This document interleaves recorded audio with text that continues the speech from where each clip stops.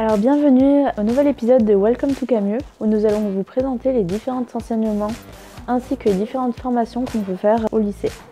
Donc nous voilà dans la salle euh, principalement réservée au BTS. Donc il y a deux BTS au lycée Albert Camus. Il y a le BTS SP3S, donc plus centré dans le sanitaire et le social.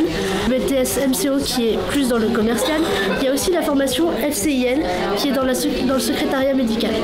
Donc la capacité maximale du BTS SP3S est de 24. Tous les bacs sont acceptés, que ce soit bac pro, bac généraux ou même euh, les personnes venant de la vie active. Donc nous sommes ici toujours dans le côté pro. Nous sommes ici plus dans l'espace dédié aux gestions administration. Gestion administration, c'est plus pour les services administratifs dans l'entrepreneuriat, le commercial, le secteur bancaire, l'administration.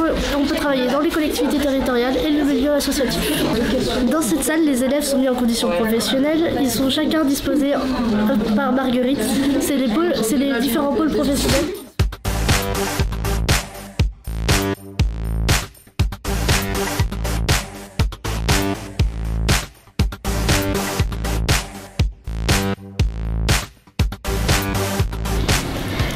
Les quelle est la différence entre les arts, les arts appliqués que vous enseignez et les arts plastiques qu'ils ont au collège Alors les arts appliqués, c'est très simple, c'est l'architecture, la mode, le graphisme et le design d'objets. Et les arts plastiques, c'est la peinture, la sculpture. En fait, dans les arts appliqués, il y a toujours un cahier des charges donc un client derrière, un besoin, et on essaye de répondre au mieux aux besoins du client.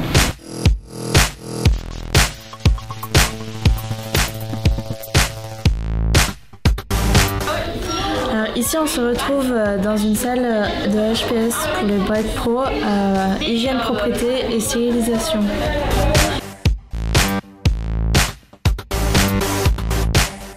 Alors, après le lavage, on vient ici pour conditionner des dispositifs médicaux comme ceci.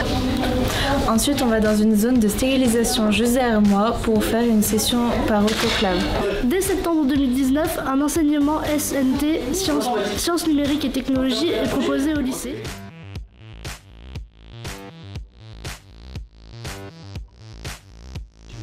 Il y a la possibilité de continuer ses spécialités en première et en terminale, et c'est la spécialité NSC. ici, c'est un labo multimédia où les élèves pourront être amenés ici en cours de langue ou d'autres cours.